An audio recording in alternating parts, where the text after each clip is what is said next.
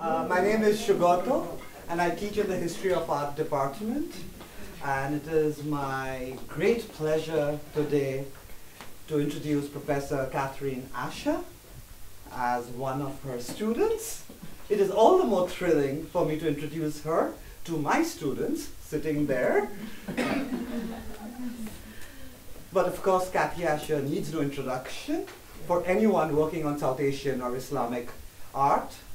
Her Architecture of Mughal India, published in 1992, was a groundbreaking book on early modern architecture in South Asia and a staple for anyone, all of us, working on built form.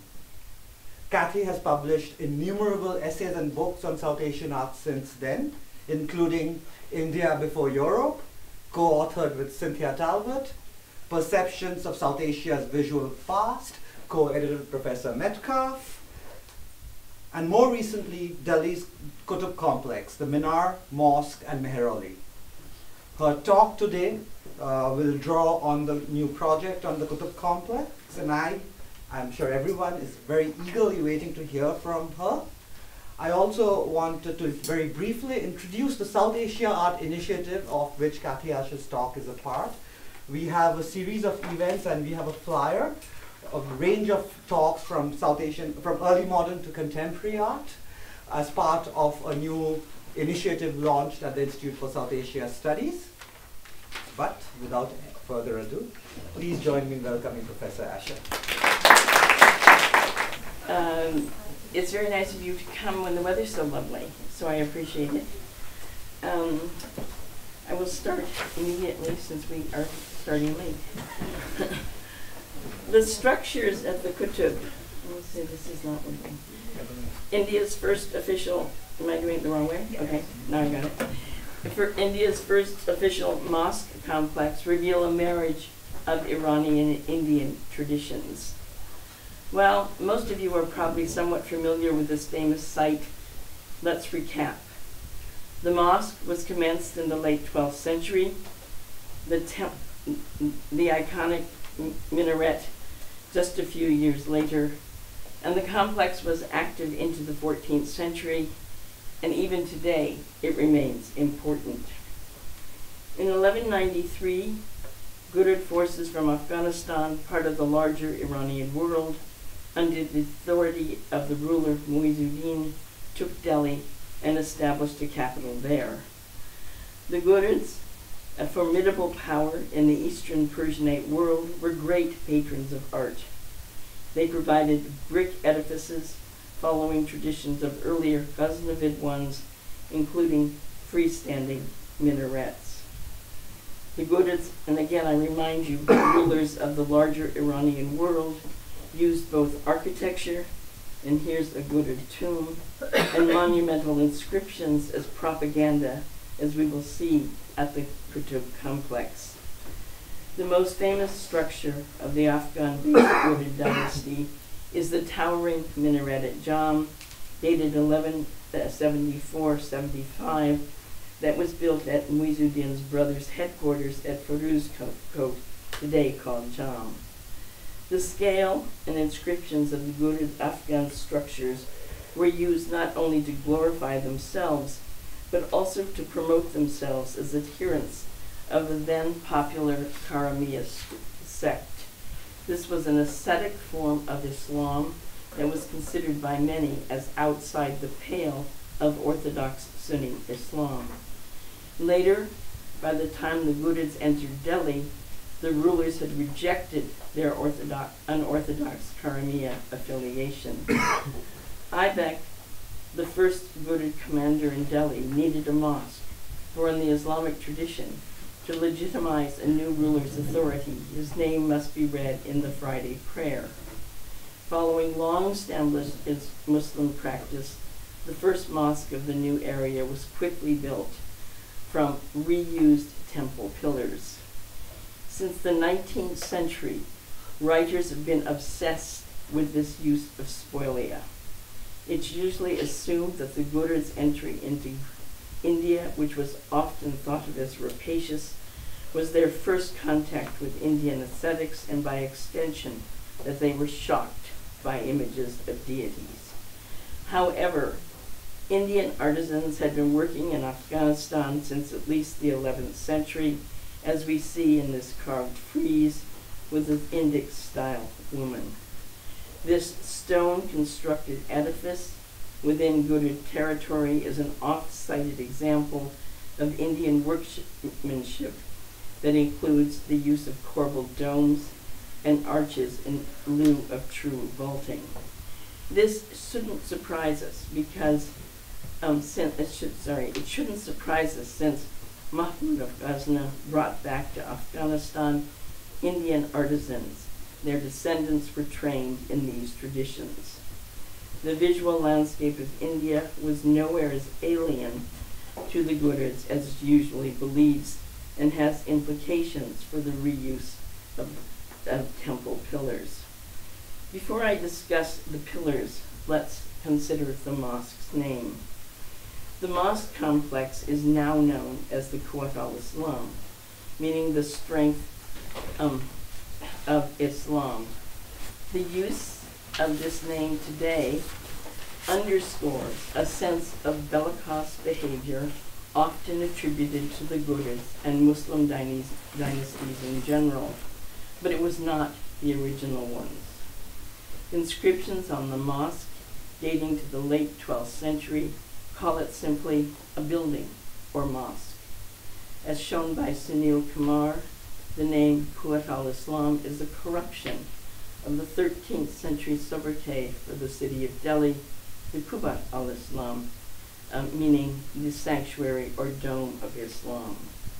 I will refer to the multiple structures at the site as the Qutb complex, a name that better suits the builder's original intentions. These infamous pillars form the interior of form the interior of a rectangular mosque type found in much of the Persianate world. A Persian inscription indicates Aibak built this mosque at the behest of his Ghurid overlord, and that it was underway by 1196. The entrance and all its arches, built before the 14th century, are not true arches, for they lack a keystone. Rather, the stacked stones are pushed together to form a point in a technique known as corbelling. On either side of the main entrance are, are niches with geometric designs, not the anthropomorphic type imagery seen on similar niches on a temple, since in a religious context, Islam discourages the presence of human imagery. This entrance leads to a large courtyard. Near its center stands an iron pillar while a monumental stone screen had been placed in 1198 before the mosque's prayer chamber. The pillar was not likely in this location at the time of the mosque's initial construction. It is the pillar galleries, all made from spolia, that form the mosque's original portion.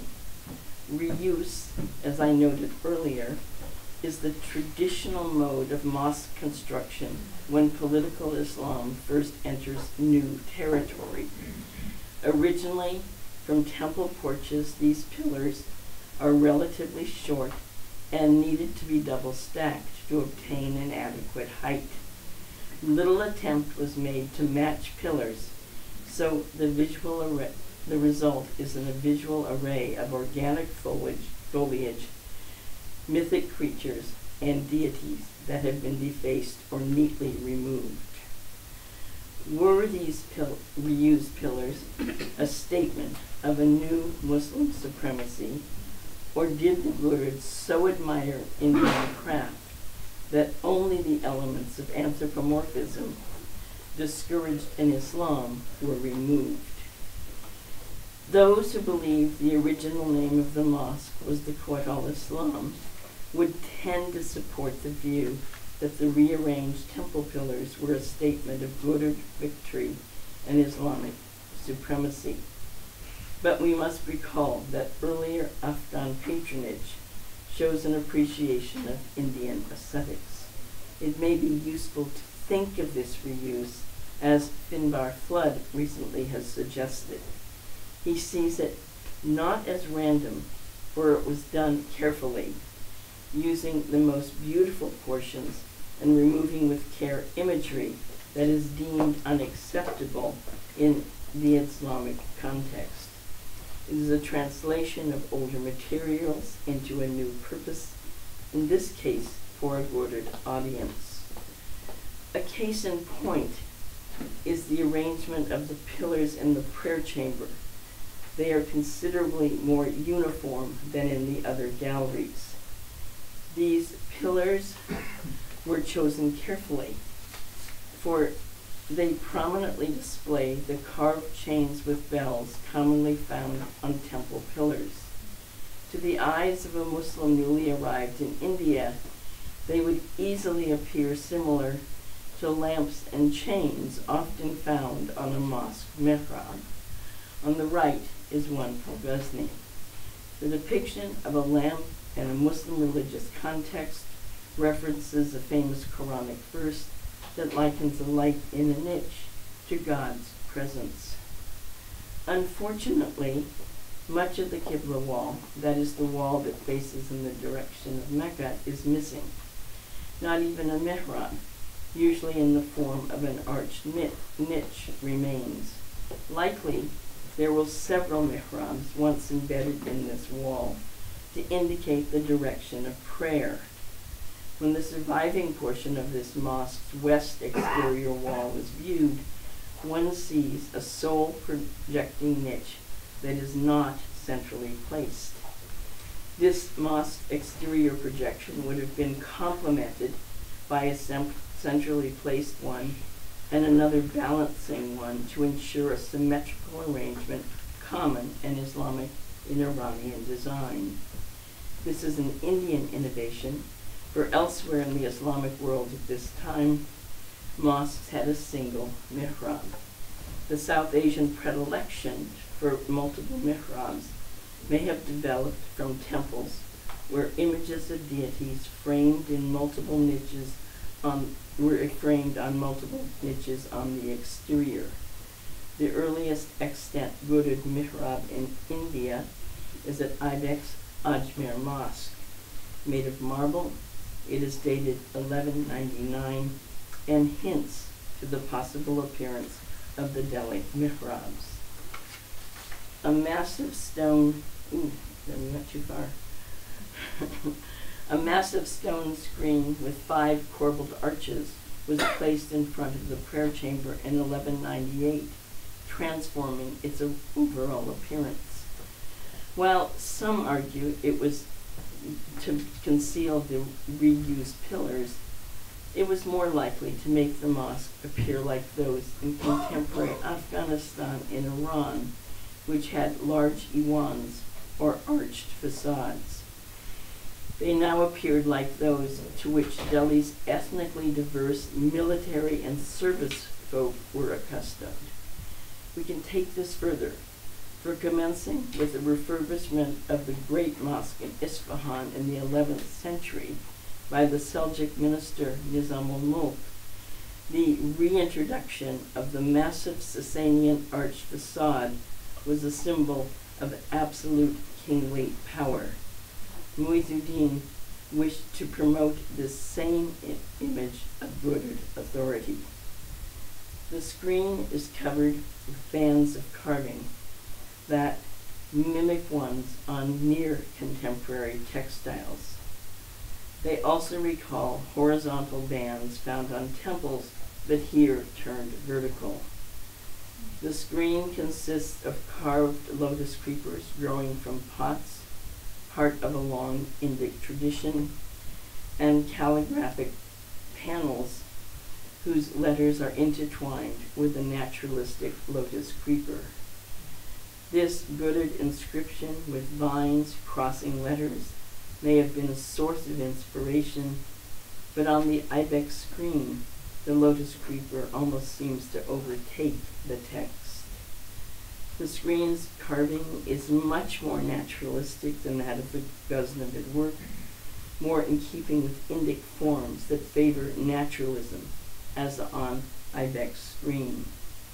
Flowers from the lotus creeper overtake the script. Some flowers are mere buds, and others are fully open and face the viewer, while many of the open flowers face inward towards the prayer chamber's Kibla wall. Flowers, of course, face the source of light. Here, the bells and chains, imagined as lamps whose light is a metaphor for God's presence. In the spandrels of the central arch are complex circular patterns. They may be Indic versions of Persianate brick patterns, and they resemble Indian corbelled domes. They recall block printed textiles, which were in international demand. The stone's multiple shades of red, green, and pink are reminiscent of textiles that have been printed or dyed in many colors. These designs are both Indic and Islamic, reflecting the Ghurid's interests both in South Asia and in territories far to the west. This screen is replete with monumental inscriptions following a pattern established earlier in Ghurid, Afghanistan. The Delhi inscriptions stand against the background of organic floral imagery, just obscuring the text which differs from those Afghan Ghurid ones, which are rendered in high and low relief with little other background. Most of the Delhi inscriptions are Quranic. Their content has generated much attention, perhaps more than is warranted, given the entangled script. Some believe the inscriptional content proclaiming Islam as the correct path is directed against Hindus and Jains, but even they concede that many of the verses are directed at believers, for they focus on the obligations of a good Muslim. Others suggest that the inscriptions focusing on non believers are not so much directed at those who adhere to Indic religions, but are targeted towards unorthodox Muslims, including the Karamiya, who the now Orthodox Ghurids consider to be heretics. Aibak's screen was constructed around the very time when Muizuddin switched his allegiance from the somewhat parochial Karamiya sect of Islam to a school much more acceptable among Orthodox Sunni thinkers. The towering minaret, known as the Qutb Minar, is located to the south of Aibak's original mosque. Often described as Delhi's iconic image, this minaret could once be seen from a considerable distance. The Qutb was built in multiple stages, first by Aibak, then by his successor Iltutmish, and repaired by others up to the present. It remains the world's tallest minaret before steel ones were built in the 20th century. The name Qutb Minar is not original, for in its inscriptions it's only termed a minar. Its name derives from an important Sufi, Qutbuddin Bakhtiar Kaki, who belonged to the Chishti order and died in 1235. His burial site and Dargah are close to the Qutb complex and remain an important spiritual center. The Chishtiya originated in the Ghurid site of Chisht in Afghanistan, and although today its followers are largely in South Asia or its diaspora. The base of the Qutb, the part completed under Aibak, is polygonal consisting of alternating angular and rounded projections and was inspired by 11th century minarets, while the immediate model for the Qutb was the one at Jam built by Muizuddin's brother. The uniformity of the Qutb and its well-planned proportions suggest it was planned, although not executed, in a single campaign. Inscriptions suggest that it was underway by 1199. There are two types of inscriptions, those Quranic ones in Arabic and historical ones in Persian. The Quranic ones with admonitions to non-believers were most likely targeted at followers of unorthodox Muslim sects. The early Sultanate military and administrative forces came from multiple traditions, including Shias, Ismailis, these, in all probability, followers of the Qaramiyya sect, now, remember, considered heretical. Reading the inscriptions would be difficult, although the script is clear, for the viewer would have to completely circumambulate the minaret. It is unlikely that anyone above the, I'm sorry, it is unlikely that anyone could read those above the first two bands while standing on the ground. All the same, ooh, sorry, the minaret's basic religious orientation would be clear for the name of God, Allah, even e that even the unlettered Muslim could easily identify, is on lower tiers. The Persian inscriptions proclaim the Ghurid of brothers as the masters of the kings of Arabia and Iran, the most just sultans of the world, and celebrate them as the fonts of justice, kindness, and mercy. These encomiums are addressed to the former elite who had rebelled, establishing their own seats of power in India, Rajputs who remained largely independent, and those Muslim forces outside of India who remained a threat. How, without instant messaging and contemporary modes of communication, could this message of Ghurid superiority be disseminated? The pre-modern world was highly mobile and information spread quickly. Merchants trading highly sought after commodities were constantly moving between India and lands to the east and west. Carrier pigeons conveyed messages over long distances.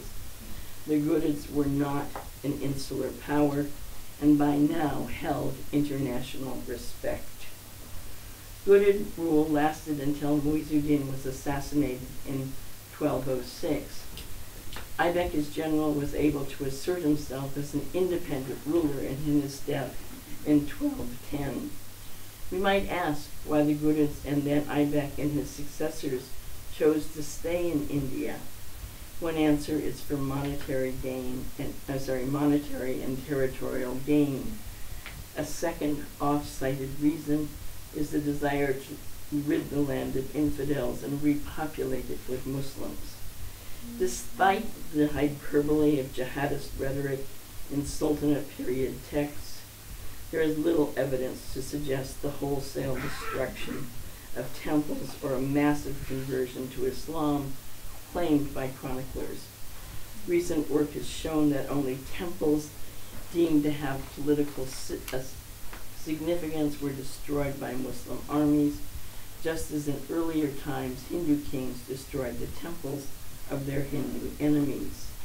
An increased Muslim population was caused by a massive number of ethnically diverse immigrants coming to serve the Ghurids in multiple roles.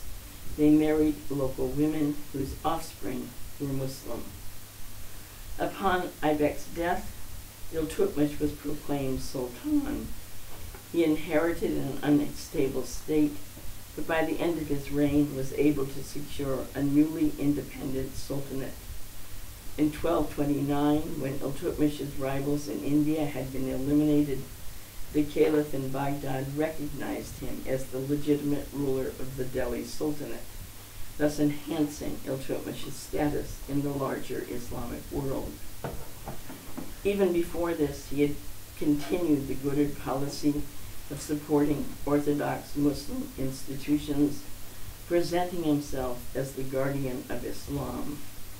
Mongol forces were coming ever closer to Delhi, causing the Sultanate's diverse, multi-ethnic community to stay unified. Iltutmish promoted the idea of unity among Delhi's Muslims in part by the construction of mosques and by works such as this once huge reservoir. A Persian historian described Delhi as the sanctuary of Islam, meaning a safe haven for Muslims. Delhi served as a center for the unified sultanate established under the authority of Iltutmish. Iltutmish continued to embellish his capital by expanding Aibak's original mosque and making additions to the Qutb Minar, which was now enclosed within the new courtyard. All of Iltutmish's additions are newly carved material and continued the use of corbelled arches.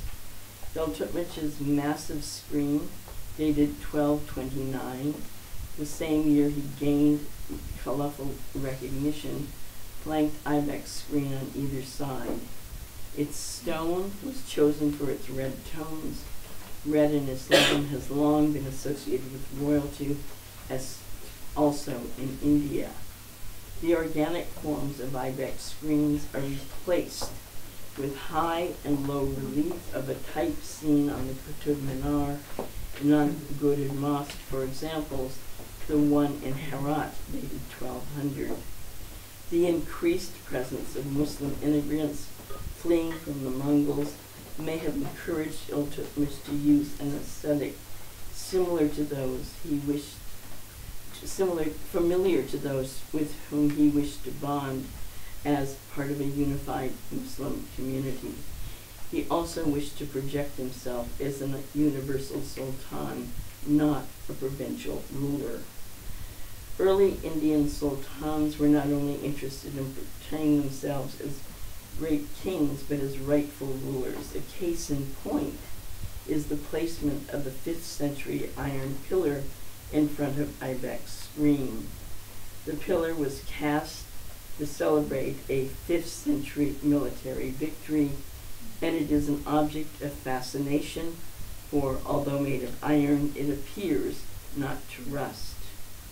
It is widely acknowledged this remarkable pillar did not originate from Delhi although the original location is unknown.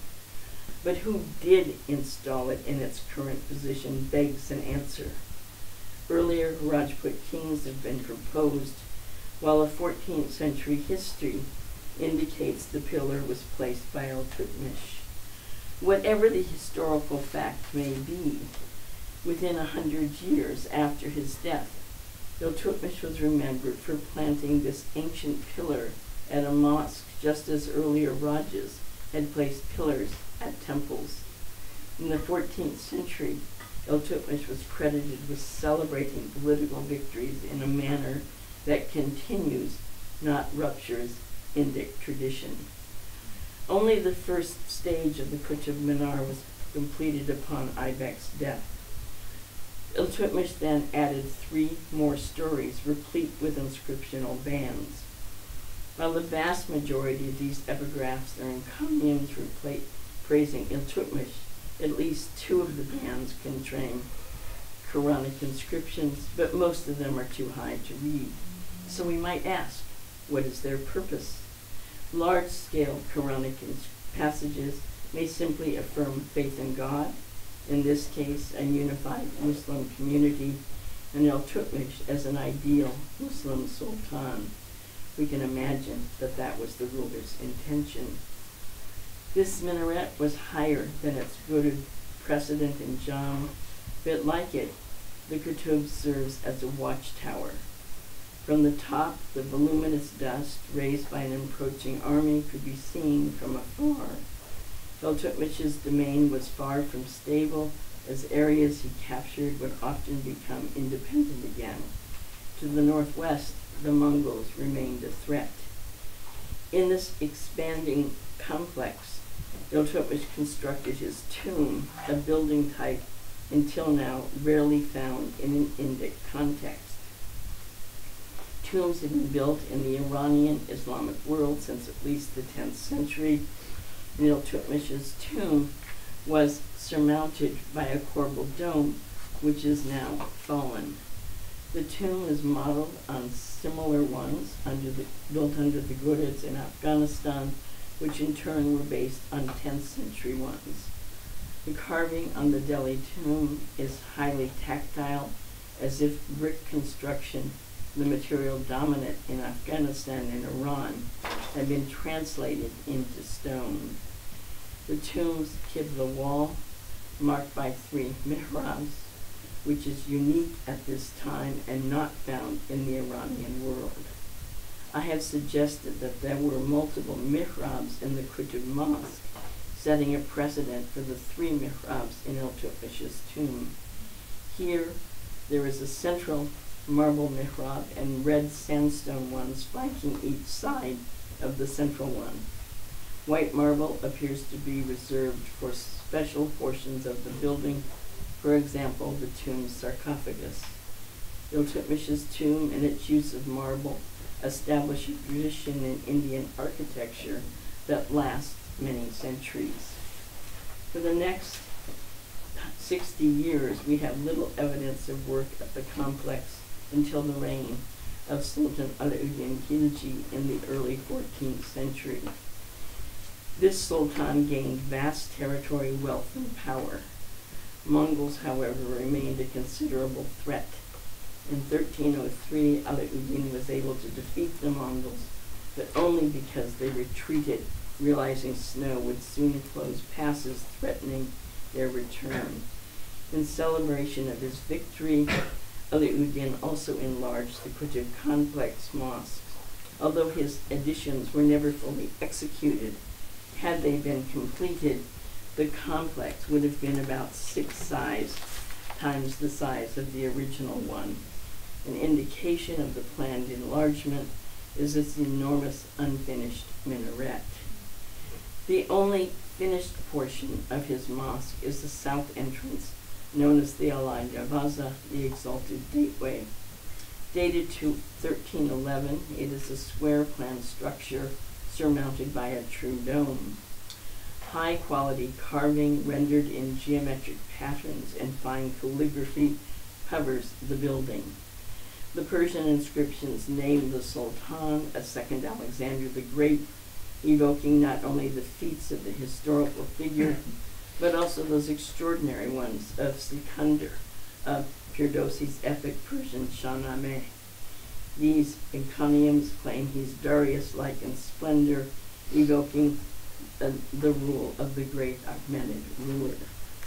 The beauty of the carved script was praised by the 14th century poet Amir Khusro, noting that it was so exquisite you would think the Quran was coming down from heaven.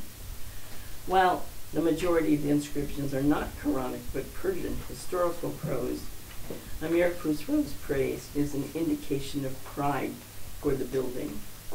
Part of this admiration may have come from its new aesthetic. Rather than the beige stone found on earlier phases, here deep red sandstone is marked with white marble trim. What was the source of this striking new aesthetic? May it have been the result of a quest for a new visual to celebrate the Mongol defeat? After all, red sandstone and white marble were accessible in Rajasthani quarries, although they had been used sparingly. Over a half a century ago, his historian suggested that the use of contrasting colored stones may have been the product of artisans from Seljuk Turkey fleeing the Mongols. Seljuk buildings feature contrasting colored stones to highlight the surface's design. There are also Indic origins to this use of red and white. According to a Hindu text on architecture, white is associated with Brahmins, while red is associated with warriors and kings. Red was also the color of the early Delhi Sultan's royal umbrellas and tents. This choice of colors was likely intentional and used notably 200 years later by the Mughals who had been keen to highlight both their Persianate and Indic roots. After Alauddin, construction at the site decreased considerably, and this might be a good moment to consider if inspiration was largely coming from the Persianate world to India or whether there was two-way traffic. The dearth of portable extant objects from India at this time makes the response somewhat difficult. Another factor are the Mongols whose raids across Central Asia, Iran, and into the subcontinent tended to move people toward the east, not the West. And in addition, as we know, the Mongols and Ilkhanids favored Chinese products rather than Indian ones. In Delhi, the mosque and especially the minar, the complex's most palpable link with Iranian tradition, remained significant for later centuries. But why, since the site continued in significance, is the mosque ruined, although not the minar? There are no historical records regarding the mosque's condition, although these do exist for the minar. Most of the mosque employed inadequate construction methods, especially arches. Earthquakes have shaken the complex. We know the minar's top portion had toppled at least twice, almost surely hitting and damaging the mosque itself. Timur's sack of Delhi in the late 14th century may also have affected the mosque. Unchecked vegetation, seen in these images, is another source for structural decay. Its stones were also plundered for the construction of new buildings. The minaret, damaged in earthquakes in both the 14th and 16th centuries, was repaired each time.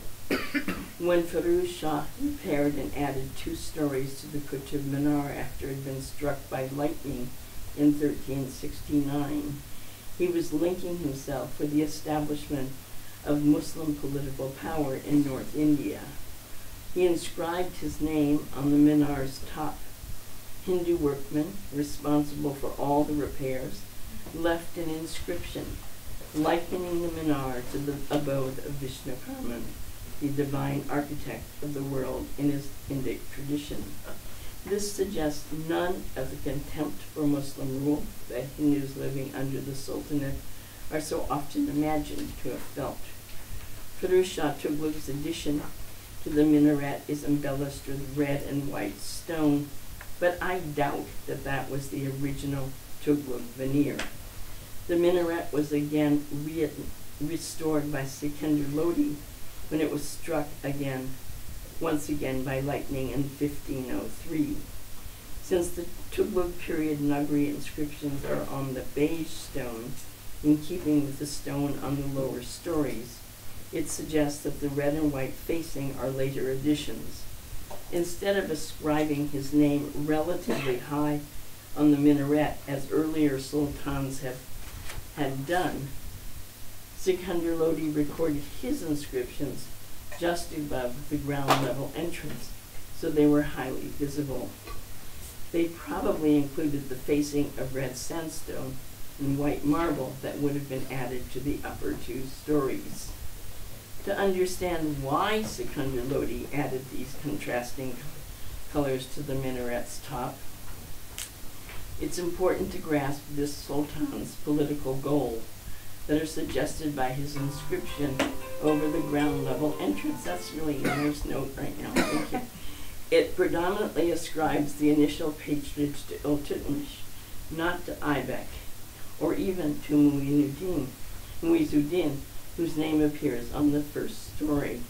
This suggests that either no one bothered to read the older inscriptions or that long-standing tradition attributed the Qutb Minar to Iltutmish. Despite Sikandar Lodi's misunderstandings of the Minar's foundations, he is clearly linking his reign to that of an illustrious early sultan, who, like him, was the second ruler of his house. Iltutmish is regarded as the first stabilizer of the Delhi Sultanate, for it was under him that stabilized authority was established, albeit somewhat shakily. Sikandar Lodi also inherited a Delhi that needed to be stabilized since power and authority had been devastated by Timur's invasion of nearly a century earlier. Once Sikandar Lodi defeated his major enemy, the Sharkis of Jaunpur, he saw himself as the revitalizer of the Delhi Sultanate. The Sharkis were considered the most cultivated of all the 15th century North Indian sultanates and they were cognizant of contemporary Timur art in Iran. As Anna Sloan has shown, the Shirkis employed Timurid motifs on Jaunpur's mosques, which are originally painted to emulate Timurid, which were, I'm sorry, originally painted to emulate Timurid tile work. Lodi too aspired to international acclaim, and he reintroduced color to Delhi's architecture. While most of the polychrome on Lodi buildings has faded or disappeared, their color, red and white, that he added to the top of the Qutb Minar is highly visible. Sikandar Lodi's addition of red and white facing on the Qutb Minar itself was a visual reference to Alauddin's uh, Alai Darwaza and more generally to the reign of this sultan who was likened to the Achaemenid, the Achaemenid Darius. During the late 14th through early 16th centuries, Alauddin's regime was seen as a golden age. The use of red and white stone on the Qutb appears to be a visual statement of his intent to revive Delhi's status. Little did he know that his own dynasty was only to last another 20 years. The Minar continues to have considerable impact into the present. Shah Jahan modeled his hunting tower on the Qutb. Artists and photographers rendered its image Models were even made to show Britons at home this remarkable structure. These examples are benign, but others have profoundly a negative impact. While many recognize the Minar's Iranian or origins, others believe, as Syed Ahmed Khan once thought, although without today's maliciousness, that the Minar is a temple stambha such misunderstandings incite and ignite hostility towards Muslims and Islam. But let me end on a more positive note. The Qutb is highly regarded even today as it continues to be copied. Not so surprising is a smaller version of the Qutb that is next door at the Sufi Dargah of Bakhtiar Kaki. It has long been under construction and when and if completed, it will serve as a visual marker on the skyline for the Dargah's presence, just as the Qutb serves as a marker for the mosque complex. However, it's unlikely that the Dargah's Minar could ever achieve the status of the Qutb, a symbol of Delhi. More surprising are references to the Qutb at Aibak's reconstructed tomb in Lahore where he died from a polo accident in 1210.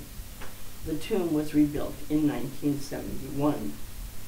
While the tomb's designers clearly were referencing Iltutmish's tomb in Delhi in overall shape and plan, the average Pakistani who had never been to Delhi would almost surely miss these allusions. So to make the message clear, the interior boundary walls of this tomb are lined with images of the Qutb Minar, a known reference in Pakistan. However, it's also possible that those viewers with little sense of chronology would see these projecting forms in the enclosure wall as references to Lahore's Minar-e-Pakistan, a symbol better linked to Tehran's Azadi, both associated with nationalism rather than Delhi's Qutb. Thus, the Qutb becomes a remarkable double-end symbol, one representing a sense of pride for two nation states, ones that do not really see eye to eye. Thank you.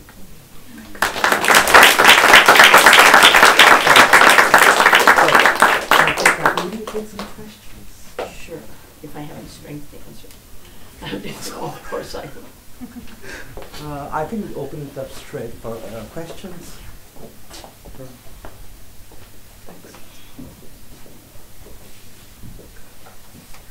the audience, uh, I, if I could think a little bit more about the contemporary 20th century moment and how the Qutb is reimagined. I wonder how the Qutb plays with the Taj. Because we think of Taj as a symbol of India, so thinking about Delhi and India and how we think, also thinking about the India-Pakistan relationship and what is India's national Well, I think for sure that nobody in Delhi knows about these references in Pakistan to the Qutb. I mean, I mean, I think it's just a one-way street in that manner. Um, that's a really interesting question, I think it's actually a little bit hard to answer that, um, especially at this point in the day. Uh, but I mean, the, you're right. The Taj scene is a kind of. I mean, it's it's well, the Taj is pretty.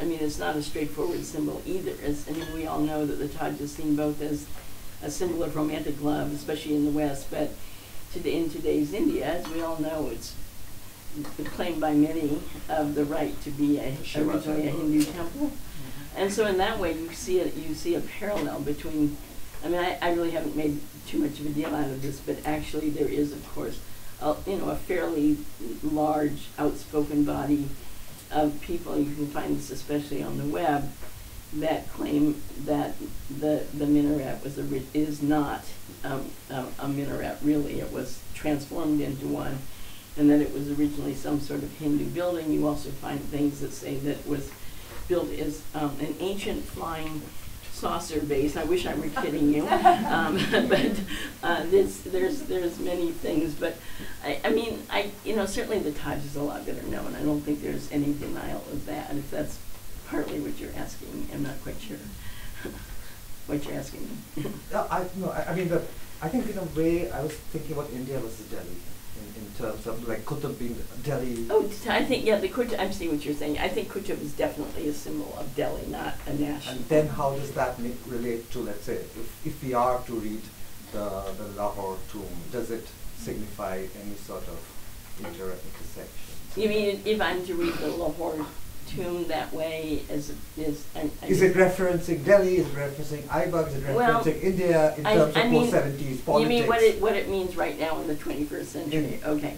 I mean, it was clearly meant as a, ri- a reference to Aibak to Right. begin with, and probably to the Sultanate, the larger Sultanate. Um, today, I, I sus- I mean, it's, it's a little, I don't know, I suppose it's, I mean, I, s- I th- my guess is frankly that most people who see it do not think of it as the Qutb. I think they think of it as probably the of Pakistan. I would imagine ninety-nine percent of the people who see it have no historical sense. They don't real, they kind of know that Aibak is this old uh, sultan who, and the association with Lahore is where he died. He lived there only for about six years, I think, something like that. And it could be five, but whatever. And I, and I, I really wonder how much, as much as the architects, and we know their names, I mean, a fair amount of this is known, really intended, I, uh, they intended to be a reference to, I think, the Sultanate in general, but what exactly, I'm not, I'm tired and not doing this well, um, what exactly it, it would mean to someone today looking at it is a little unclear. And they might want to even deny the Indic roots. I mean, just having come back, and there's, I mean, certainly among intellectuals there's no problem, but among average people there certainly is a huge hostility um, to India at this point. But, uh, No, no, just to follow up directly on that though, in nineteen seventy-one, wouldn't there still have been a generation of people who, I, I mean, uh, it makes complete sense to me. Narayani Gupta has just done a lovely children's book on the Qutb, which is sort of all about Delhi wallahs and their love of the Qutb. And I just sort of wonder if in nineteen seventy-one, there would still have been a generation, um, some muhajir, some not, who had sentimental Well, I think so. I mean, and I- they, w- and so I think that's an interesting question. They may well have been evoking not India, but some rom- romanticized memory of Delhi. I, I think that's And probably true and very different from today's rom- romanticized view of what history of, of what- of the Sultanate, Right. basing the Sultanate more in what was then Pakistan as opposed to Delhi or Yeah, larger India. Bob. But we know the names of the architects and, and they were old enough to probably Have have that remembered memory. and remember that, yeah. Um, actually, I was able to find out a lot about how it was constructed. I didn't, I'm sparing you all that, but we do know a fair amount of what went into the process, so it's pretty interesting. Yeah. I mean, just following up on, on uh, Sugata's point, uh, what, what does it mean to be the symbol of a place. Uh, time. Most people, you know, outside of that world don't see. I mean, everybody knows the Eiffel Tower is the symbol of Paris and so on and so forth. Most people, first of all, outside India have no idea what that is, right? Uh, if there's a symbol of India, it has to be the Taj, uh, the Tejo Mahal, which is called by its proper Hindu name. But, uh, the, um, does Delhi have a symbol? Is it the Lal Killa? Well, I mean, Is I it- I mean, the government focused itself on the Red Fort, you know, the symbolic history of the Red Fort in, you know, Mughal and contemporary India, speeches from independence and so on. I mean, most people in Delhi, this is a park, really, they go. That's, and- that's yeah. true, but it, it, Aditi, who's sitting here in the front row, his work has shown that really until relatively recently, it's very clear that the Qutb was the symbol of Delhi. I mean, it's, it's only pretty much, I'd say in the last twenty years, that, would you agree with that, that that's not as recognizable, that not every book on Delhi now has the Qutb on the cover, which Yeah, it used also, to if- have. if you look at the Delhi Metro token, Mm. it has the Has embossed thing of the Qutb. Mm. And uh, just adding another point to Kathy's mention of the, the, the Aibak tomb is the idea that, there's also this idea that after the partition, like there's all these monuments that were lost to Pakistan, so there's probably also a way of remembering all that. To, to- Muslim history just that to, just to say that to build this Aibak tomb was a huge enterprise. You'd think it was very simple, right? Want to build a tomb over the original tomb, but because the buildings around the area um, had originally been owned by Hin- Hindus who had immigrated to India, it put the land kind of in limbo, and it took them something like eight years to actually legally acquire the land to build that tomb, which really goes to show that they were pretty determined to build it, because that is no short period of time um, in which to do that. Yeah. So thank you so much, Kathy. I had a quick question. Um, given the fact that the Qutb is such a potent symbol, both in its time and certainly for, um, you know, rulers in subsequent centuries, why don't we have more Qutb Minar copies across We- northern India? Well, we have many references to the Qutb, but not Qutb Minar copies. Okay, so if I mean, I'm just I I left all this out. Luckily, you'll be glad to hear. But it, multiple structures, starting with buildings that even of Iltutmish's time, have references to the Qutb. For example, the minarets on the mosque at uh, Ajmer, built by the, addition added by Iltutmish, has on both its four corner bastions and also on the minarets references to the um, the, the protrusions at the Qutb. You find them as far south as the Deccan. You find them in um, the Khilji Mosque in Dawlatabad. You find them in the mosque, uh, many of the Tughlaq mosques. I'm just giving a few examples. Um, some of the, those large, massive ones in Delhi. I, I, I don't know if everybody in the audience knows what I'm talking about, so I don't want to go into it too much. Frequently, in the in the areas where the minarets start, they have references to the Qutb by the flanges. Um, this the, the, the, the hunting tower of Shah Jahan, which is actually um, in in a very southern part of Delhi, not very far from Palam Airport, um, is uh, is a is a smaller copy of the Qutb. As you can see from the illustrations, the pictures I showed, it wasn't. It's not in very good shape, but it truly would have been. Um, I mean, not a, not an exact copy, but in, in art hi- history terminology, people usually see a general copy as a copy, not exact. So it, it, it pretty much resembled the, the Qutb. I mean, not precisely, but in, certainly in overall plan and appearance. Um, and so there's many references. Most of them are, are, are the somewhat subtle ones, um, but um, uh, there are there are a, a huge number, just not monumental minarets. Um, there there are a few in Bengal, which again are not exact copies. They're fairly early. They they date pretty much to the I mean they date to the Sultanate period. At first, I would imagine the reasons that we don't really have them is the minaret is a rather, I mean, it's not an easy thing to build. Inside of it is a spiraling staircase to go up. Uh, This minaret is intended as a watchtower. As time goes on, you probably have less need of a watchtower um, as, especially as mobile forces are really able to, um, to, to control territory better. Um, but I think, I, I, I would imagine that part of it, I mean, it's a really good question, but we don't get minarets after the twelfth century in the Iranian world either. So we can imagine that they are not as necessary. It may be in part by with the inability to and, and I'm not sure about this and I'm needless to say not a military historian. But it could be the part of being able to build stronger fortifications um, and taller ones where you could see better. The point of the minaret is to be able to see for a huge distance on a flat plain the dust that's being um, um, generated by the hooves of armies, horses, of the armies of horses. It's that that is what its function was. That that that could could be it, and for maybe the difficulty of building one. A good question, of which I haven't really given a good answer. Professor Metcalf and then I I. was just, your uh, remarks put me in mind of the first time I ever saw the Qutb Minar, uh, which was in 1960. I got on my little motors, a Lambretta scooter, and chugging out through this vast wasteland. There's Exactly. and, rub- and rubble everywhere. And suddenly here was this looming structure. I mean, uh, the uh, aesthetic impact of it must have been very different than it is now with all kinds of structures and buildings all clustered around it.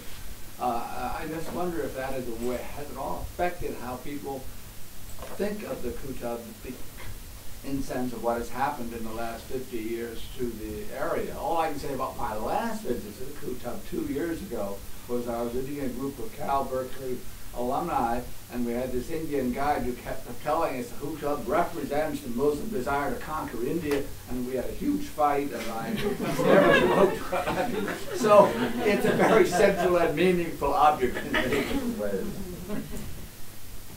I mean, obviously this fight is still going on in India, and, and one, of, one of the reasons I actually agreed to write a book on the Sultanate when I really think about the Mughals most of the time was to try to write a, a, a book that presented this whole area, because the book is actually on Mehrauli, much more than just the Qutb, um, to try to present it in, in some sort of reasonable term, uh, uh, uh, uh, terms that was uh, theoretically to help set people straight. Of course, it probably didn't, but because no one's going to read it. But you have it neither here nor there. But the whole area of Mehrauli has actually been transformed from what this this massive building that you see everywhere, not just you know in that area, because um, this area it, it was was after the sort of uh, 14th century um, uh, area, after the area being an important urban center, it shifts. Um, it becomes a very important Sufi center, which many people know, but it wasn't just the Chishtiya, which I think many people think is really a Chishtiya domain. In fact, there's multiple sects that are there that are flourishing, and then it becomes a major Afghan center. Um, and it was very important uh, for the Surs and then for the Lodis. And so you have all sorts of transformations. But it's very difficult to see that with modern roads that literally bisect, um, you know, old religious complexes and tomb graveyards that are pulled down because they're just in the way. and so the whole area has completely been transformed. I can, just making one more interjection, which is the British transformation of this area, I think, deserves some consideration also. I just didn't And- put it in and of this course, talk. uh, it's my alleged ancestor, Sir- Sir Thomas Theophilus Metcalf, who set up his shop and lived in a Yeah. mogul tomb. So I it's just a know. wonderful I place. just didn't put, it's in this book I did, but it's not in this talk because, you know, I didn't want to keep you out of the sunshine. Ariana. Um, thank you so much for a fascinating talk. It was really Um, I guess it was kind of touched on a little bit, but I'm intrigued with um, not only how the purpose of the Minar as a watchtower, but how it might have been built as like a spectacle of like not only seeing from, but also seeing To see. Yeah. Yeah, and kind of how there's that play going on if it was it must have been a conscious thing to have both. Well, yes, I mean, obviously, um, it, I think, I think, I mean, Jonathan Bloom has done an interesting study on the original purpose of minarets, which were, which watchtowers, and, and then they are transformed gradually over time into like religious uh, elements for the call to prayer.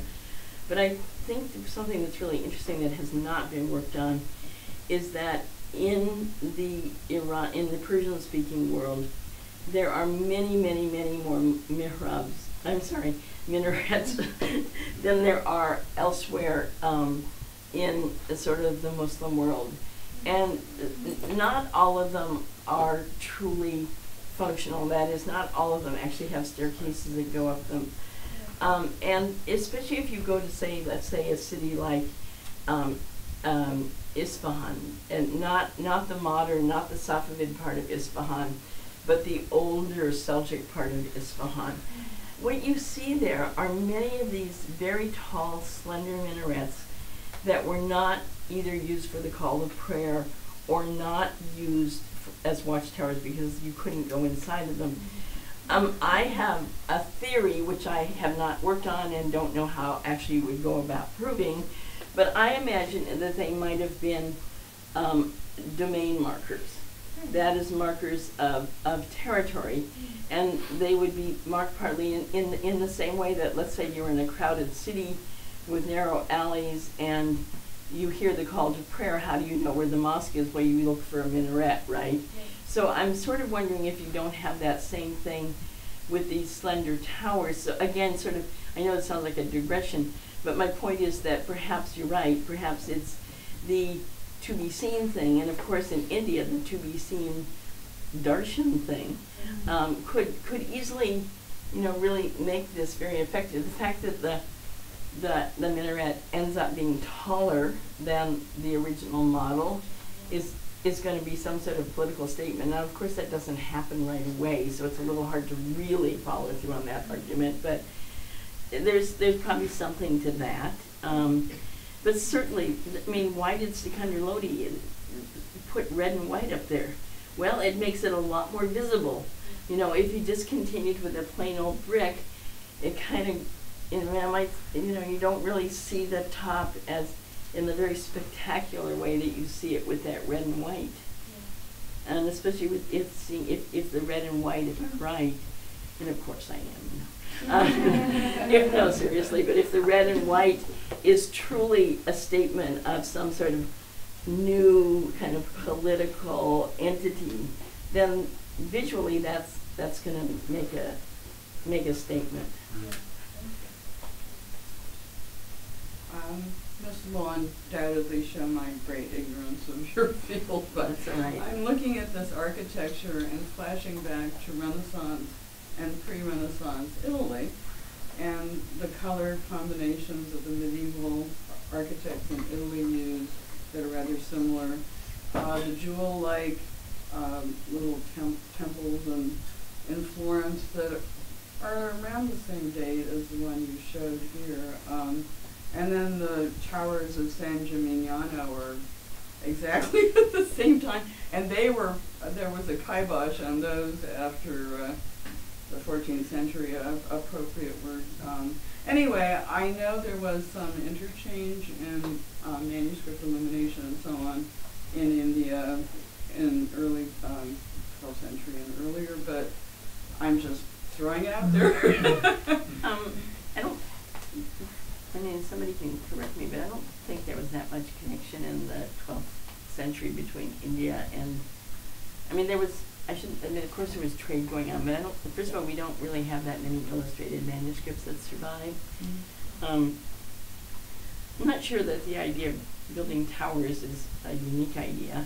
I mean, I, I, I think it'd be a little bit hard to really link these two things between Europe and India at this point. I think the Iranian link is pretty provable, and um, I don't think there's any real doubt about that. Uh, I think it'd be a harder job to link it with Europe at that time. Uh, one question. Uh, some conservators of uh, Archaeological Survey of India have carried out uh, EDX RF analysis for the iron pillar for finding the trace element. but still uh, it is wonder that why there is no rusting.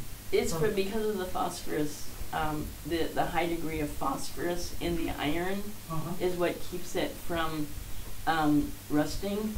Um, there's been a ton of studies on them. Um, there's, there's no shortage of studies on the iron pillar and its, its, uh, mineral, or, or its, its min, you know, its, its, i- its mineral, metal content. Mhm. So it's evidently the high level of phosphorus that has done this. Okay, okay. Yeah, um, I had a quick question. So I, I mean, uh, correct me if I'm wrong, Greg, when you mentioned that on site there was a second minar that was being constructed that was also large. So I was wondering, um, if that were to have been completed, would that, uh, what, what comparison would that have drawn with this minar? Well, it would have been about, oh gosh. First of all, I really doubt if it would have stood. Problem number one. Um, but if the mosque were about six times larger than the original one, then I suppose the, I, I mean, I, I actually have, don't have the measurements to tell you exactly what it is, but the minaret was probably imagined to be about that. Um, but it, it's very unlikely that it actually would have stood very tall. I mean, could have made it. Um, so maybe it was just as well that poor Alauddin hit the bucket so he didn't have to be too disappointed.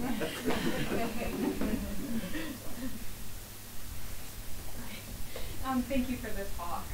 Um, just uh, jumping off of Munis's point, um, I was just thinking that it's it's kind of interesting to think about which monuments get copied and which ones just get continuously added onto. Um, so yeah, and I, I was just thinking about like the Qutb as just this monument that has so many sort of layers to it, and it seems like all of the Delhi Sultans, or many of the Delhi Sultans, feel their need to kind of put their stamp on it. Um, so it almost, you know, sort of loses its its its ownership, um, and it becomes part of this just like a legacy of the Sultanate. And I was wondering too, because I, I just don't know, I mean, did the Mughals add anything to the Qutb? Well, Um, the Qutb, I mean, the Mughals, um, as far as we know, they don't actually add anything. Well, no, they don't. As far as we know, they don't. But the Mughals have, but of course Shah Jahan copies it for a hunting tower, so it's not like he didn't notice it. Uh, he didn't notice it. Um, the the Mughals, I think, have a slightly leery view of this part of Delhi, the, mm, the south, this Mehrauli area of Delhi. Um, in part, um, because I mean, there there are Mughal tombs down there. I'm and there are Mughal structures down there. There are very few, if any, that are imperially sponsored. Um, but what we do have is that uh, Babur, when he first enters India, he does pay homage at the tomb of Bakhtiyar Kaki, okay? But then, by the time of Akbar, the Surs have taken the who the guys who kicked Humayun out of India for a short while have have um, really taken a shine to this the shrine of Bakhtiyar Kaki, and the Lodis really anchor themselves there. The first Lodi ruler, Bahlul Lodi, Lodi um, uh, is is very very linked to a non-Chishti Dargah there. Okay, and I imagine that this puts and then Afghans in general, even those who are serving the Mughals, build a number of structures down there in the period of Jahangir and Shah Jahan. This probably does not make the Mughals, the imperial Mughals, particularly want to have much um, sort of. They don't really want to pay much attention to that part.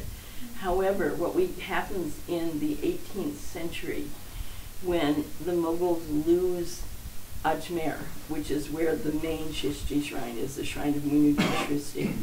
They then, when they lose that territory and they really no longer have easy access to pilgrimage there, they divert their attentions to the shrine of Bakhtiyar Kaki, which is just far enough away from the imperial capital um, that so it's an overnight trip, right?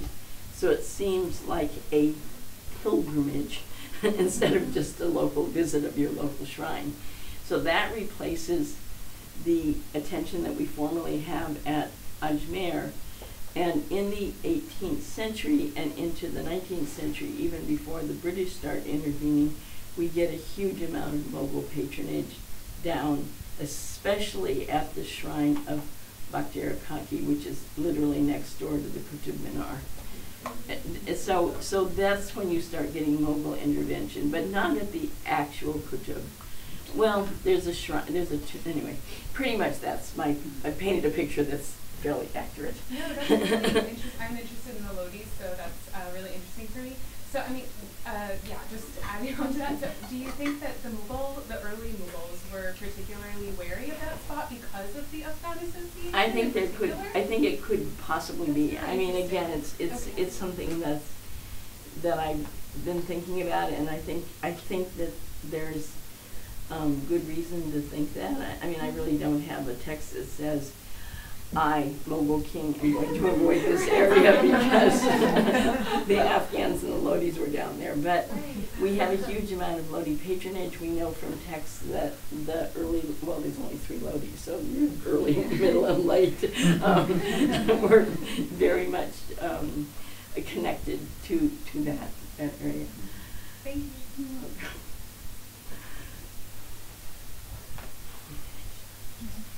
So If- I if know. no- Can I just? Oh, absolutely. If nobody else, I, how do you do the photographs? I mean, they were so fabulous. I mean, Well, I've there's this seen the gentleman, I did a lot of them, but there's this very nice gentleman in the back of the room, who some of you might know. Um, his name is Rick Asher. He's extremely helpful. The photography, it was breathtaking. I mean, I, you know, the number of times I've seen it, good, you know, people who go to India a lot see it, but to, to Well, have I'll those tell you close-up right pictures now that of- taking a good photograph is almost impossible. It's called pollution. It's extremely difficult, yeah.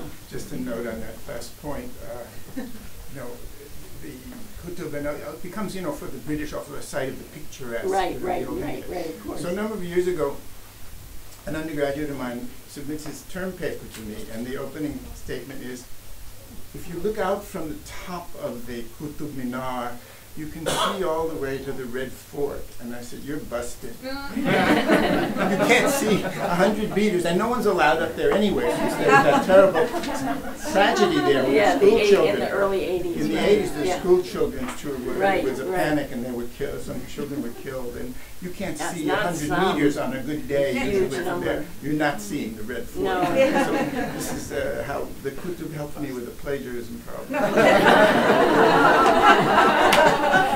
Well, I wish I would have known, I would have put uses that of in the the Um, yeah, On, okay, on well, that note, this is Kathy's second talk of the day. One more in Indian cricket parlance, it will be a hat trick. and on behalf of the Institute and the South Asia Art Initiative, a small gift to thank you for coming and speaking oh, with that's us. very nice, another bag. Not a bag. we love bags, as you know.